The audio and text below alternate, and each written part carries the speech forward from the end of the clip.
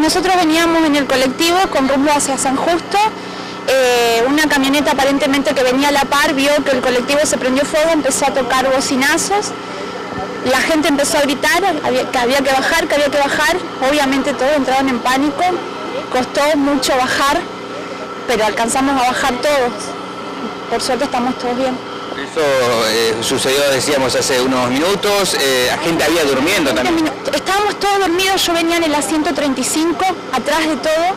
Alcanzamos a bajar y se empezaron a sentir los, los estruendos. O sea, explotó a metros nuestros el colectivo.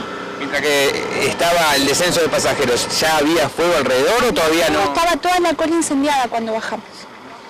Toda la cola, toda la parte de atrás estaba incendiada. Fue un gran susto. Sí.